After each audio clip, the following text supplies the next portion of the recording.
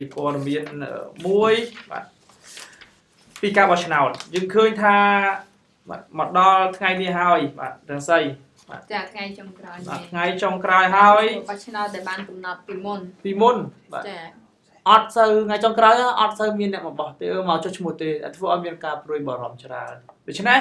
បាទ គោចបសម្រាប់ពន្យាពេលចុះឈ្មោះបោះឆ្នោតបាត់ថែមួយថ្ងៃទៀតគណៈប្រជាពលរដ្ឋសម្រុកចុះឈ្មោះបោះឆ្នោតច្រើនកកកទូទាំងប្រទេសបាទជារឿងមួយដែលយើងតែងតែចំណាំមើលពេលដែលគាត់ថ្ងៃទៅបោះឆ្នោតអញ្ចឹងចុះឈ្មោះបោះឆ្នោតអញ្ចឹងរស័យ3ខែអញ្ចឹងហ៎បាទ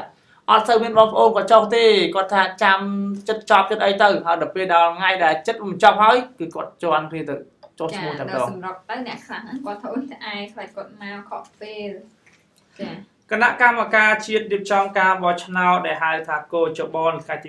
29ខែវិច្ឆិកានេះសម្រាប់ពញាពេលចុះឈ្មោះបោះឆ្នោតមួយថ្ងៃទៀត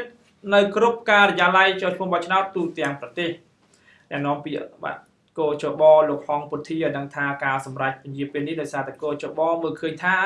រយៈពេល3ថ្ងៃចុងក្រោយនេះមានពលរដ្ឋជាច្រើនបានសម្រុកមកចុះឈ្មោះបោះឆ្នោតច្រើនគួរសមបាទលោកបញ្ជាក់ថា គោចបចង់ឲ្យបញ្ជីចុះឈ្មោះបោះឆ្នោតថ្មីថ្មីនេះមានការចូលរួមច្រើនពីបងប្អូនប្រជាពលរដ្ឋប្រតិទិននៃការចុះឈ្មោះបោះឆ្នោតរបស់កចបថ្ងៃទី29ខែវិច្ឆិកានេះជាថ្ងៃចុងក្រោយនៃដំណើរការចុះឈ្មោះនេះ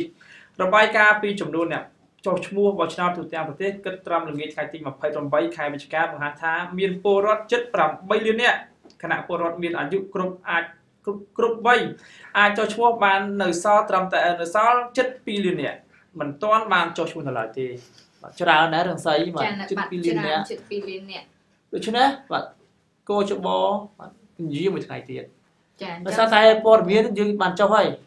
បងប្អូនអត់ឃើញទៅចុះឈ្មោះបោះឆ្នោតទេគឺរយាមែនតើនៅតាមការិយាល័យបោះឆ្នោតមួយមួយទូទាំង25ខែក្រុងមានការរយាប៉ុន្តែ3ថ្ងៃក្រោយបាទចិត្តនឹងបញ្ចប់បាទការចុះឈ្មោះឆ្នោតហើយហ្នឹងណា បងប្អូនវិជាវត្តគាត់សម្រុកតែម្ដងតែធ្វើឲ្យមានការលំបាកបន្តិចដូច្នេះបាទគឺរឿងយឺតរឿងចាវអញ្ចឹងបងប្អូនគាត់រអ៊ូរទាំអញ្ចឹងអញ្ចឹងសំណូមពរឲ្យបងប្អូនបាទគឺកុំចាំដាច់ដាច់ថ្ងៃបងប្អូននេះចូលចិត្តតែអញ្ចឹងចាំផុតមួយថ្ងៃពីរថ្ងៃចិត្តចាប់ហើយសម្រុកចូលតែម្ដងតែធ្វើឲ្យបាទខាងបាទបាទគោចបបាទសម្រាប់ពញាមួយថ្ងៃទៀតតោះឥឡូវយើងទៅមើលព័ត៌មានទី3វិញតែតកតងទៅនឹង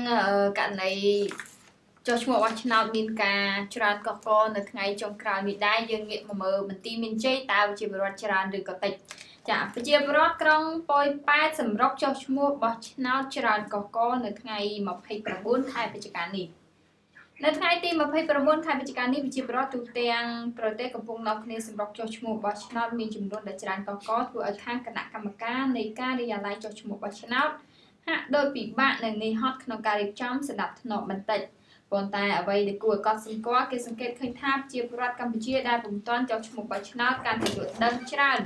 អំពីសារៈសំខាន់នៃការចុះឈ្មោះបោះឆ្នោតដើម្បីជ្រើសរើសតំណាងរាស្ត្រដែលពួកដែលពួកគាត់ពេញចិត្តហើយឥឡូវនេះពួកគាត់កំពុងព្រួយបារម្ភខ្លាចមិនបានចុះឈ្មោះបោះឆ្នោតឲ្យបានទាន់ពេលវេលានៅថ្ងៃកំណត់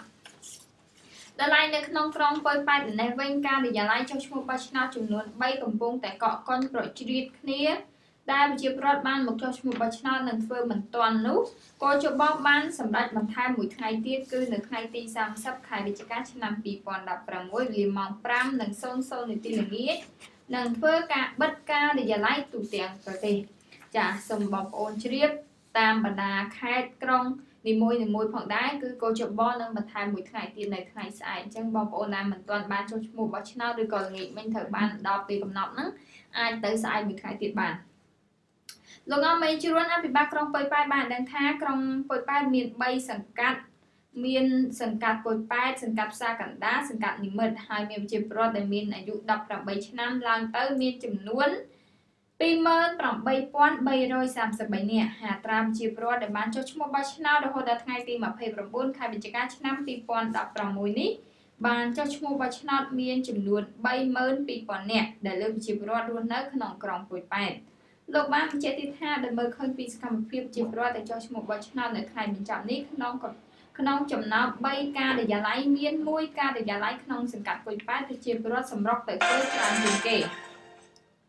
លោកហ៊ីកំសែងប្រធានគណៈកម្មាធិការជាតិរៀបចំការបោះឆ្នោតខេត្តបន្ទាយមានជ័យបានឲ្យដឹងថានៅខេត្តបន្ទាយមានជ័យមាន9ស្រុកក្រុងហើយមានការិយាល័យចុះឈ្មោះបោះឆ្នោតមានចំនួន65ការិយាល័យ និងមានមណ្ឌលបោះឆ្នោតចំនួន1038មណ្ឌលហើយប្រជាពលរដ្ឋដែលបានចុះឈ្មោះបោះឆ្នោតដល់ម៉ោងនេះមានសរុបចំនួនជាង3សែននាក់ហើយចាអញ្ចឹងអឺបងប្អូនដែលមិនទាន់បានចុះឈ្មោះស្អែកនៅមួយថ្ងៃទៀតឥឡូវនេះយើងមកបានបានចប់